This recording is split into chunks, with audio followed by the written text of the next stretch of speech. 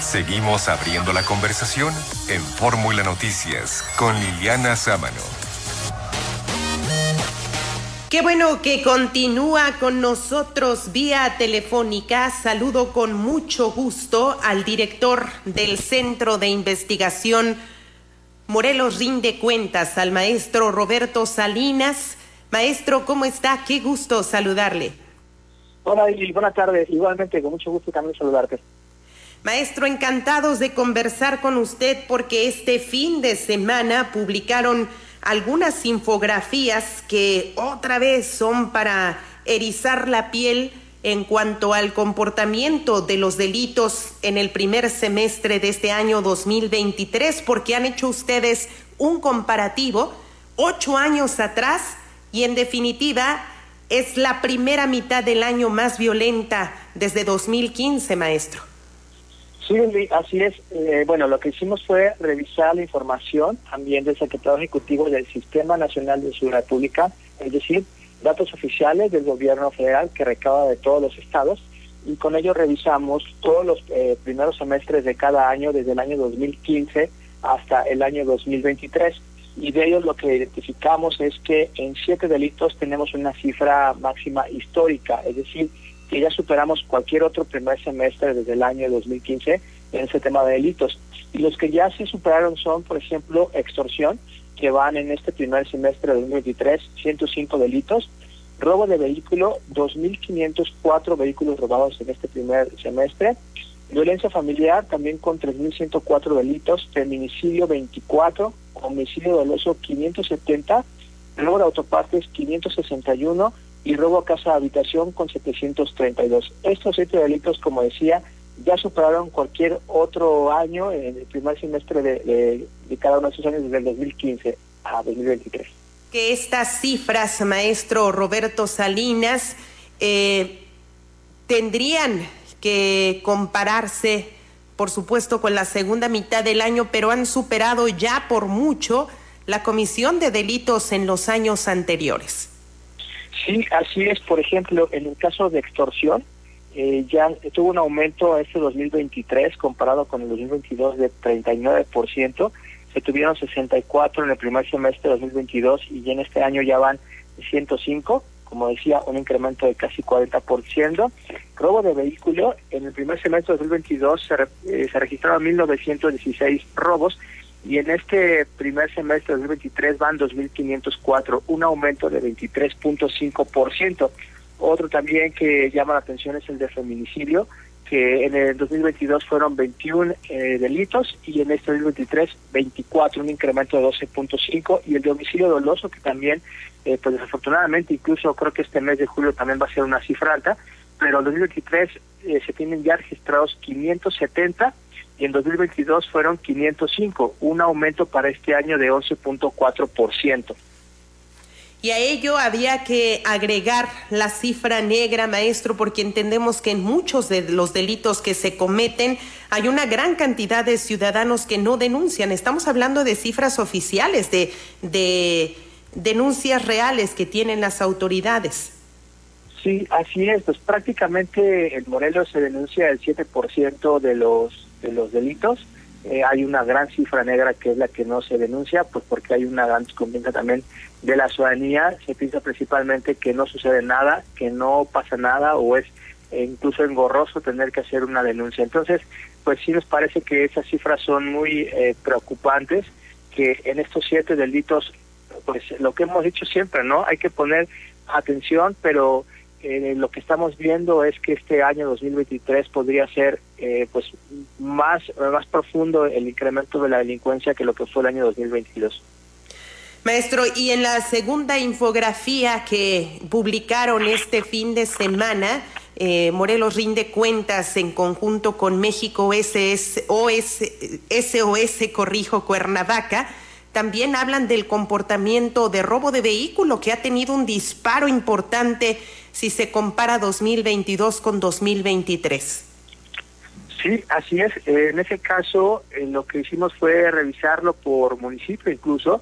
Generamos una tabla porque el incremento es de casi 600 vehículos comparado el primer semestre de 2022 contra este año. Y en este caso, en donde hubo mayor incremento en el robo de vehículos, por número de, vehículos fue eh, Cuernavaca, que pasó de 577 en 2022 a este año 824, un aumento de 247 vehículos robados que representa el 43%.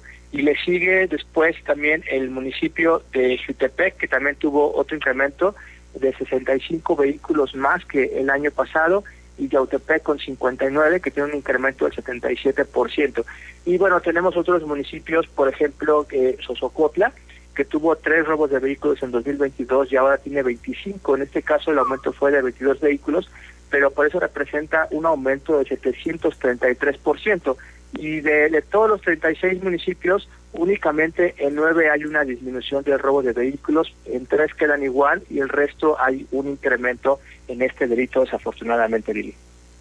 Y es un delito, podemos considerarlo de alto impacto por eh, la pérdida que genera para el patrimonio de las familias o propietario, propietarios de estas posesiones, de este bien material.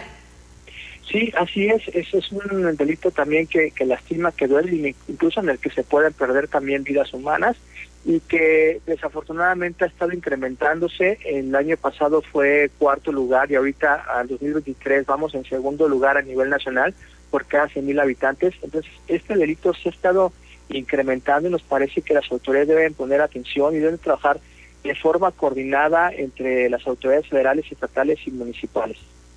Bien, pues sería el delito con mayor incremento de 2022 a 2023, maestro Roberto Salinas.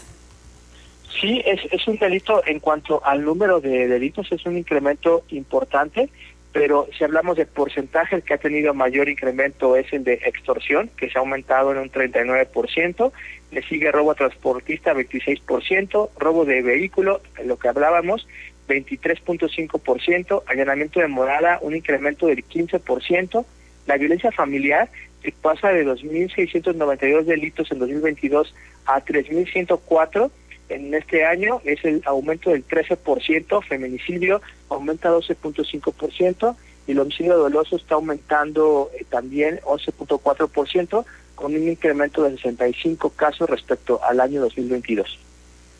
Bien, pues preocupante la situación para el estado de Morelos que no deja de dar indicadores negativos en la comisión de delitos, como ya lo mencionaba el maestro Roberto Salinas, delitos que son muy graves y que desde hace ocho años no han hecho más que incrementarse tristemente, delitos que impactan a la sociedad como la extorsión, robo de vehículo, violencia familiar, feminicidio, homicidio doloso, robo de autopartes y robo a casa habitación han tenido un incremento muy significativo en el primer semestre de este año si se comparan los últimos ocho años y, bueno, para colmo de males, el robo de vehículo se ha disparado de manera exponencial. Maestro, ¿dónde puede la gente acceder a este análisis que han hecho de la información de cifras oficiales?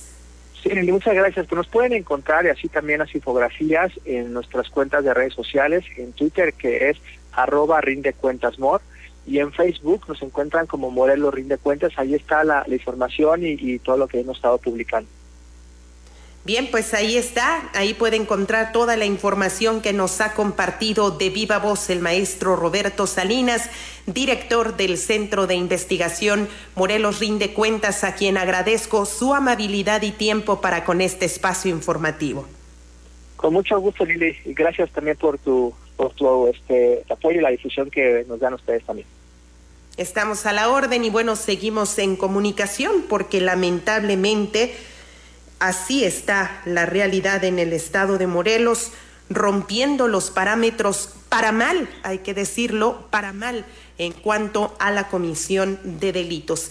El semestre más violento y con mayores delitos de alto impacto en los últimos ocho años, analizando de 2015 a 2023, Y bueno, por si fuera poco, uno de los delitos que más duelen a la sociedad y bueno, diferente al, en el cual se pierden vidas humanas, como ya lo explicaba el maestro Roberto Salinas, el robo de vehículos imparable en la zona metropolitana, en los municipios más densamente poblados, se ha disparado y esto en una comparativa del año pasado a 2023. Así es que mucho ojo, insisto, porque este tipo de parámetros este tipo de realidades que nos aquejan todos los días debe servirnos para reflexionar y para exigirle a las personas que en unas semanas y meses tocarán la puerta pidiendo el voto que digan en concreto cómo van a combatir la inseguridad,